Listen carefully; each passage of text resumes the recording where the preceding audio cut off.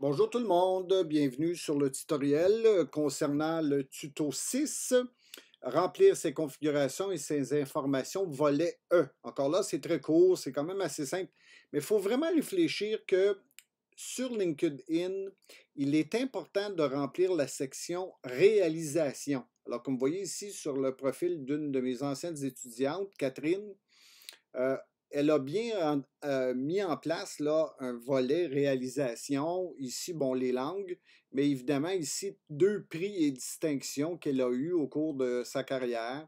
Euh, dans le cadre de ma conjointe, sur son LinkedIn, j'ai mis là des projets sur lesquels elle travaille. Comme vous pouvez voir, quatre projets très détaillés pour bien indiquer ce qu'elle fait. J'ai mis aussi une certification dans un cours Microsoft 365 et j'ai mis évidemment les langues qu'elle parle, anglais, français, roumain, au niveau de compétences professionnelles complètes.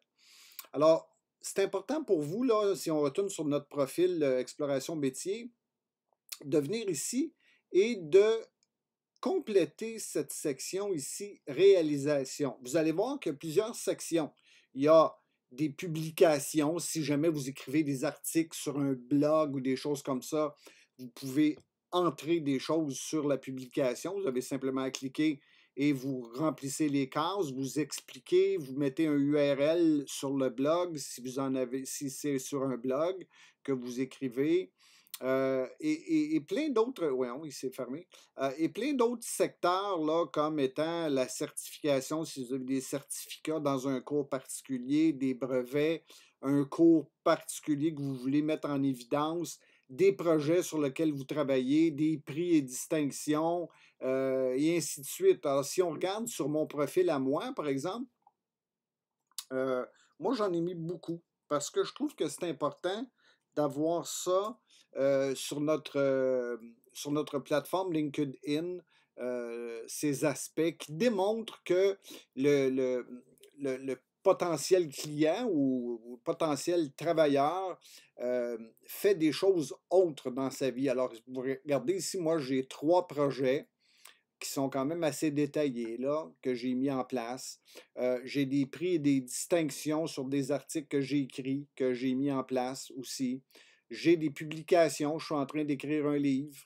J'ai même mis un résultat d'examen euh, que j'ai eu en moyenne globale. Je ne l'ai pas très détaillé.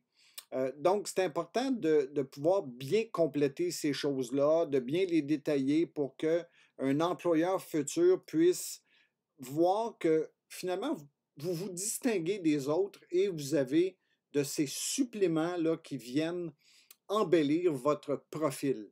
OK?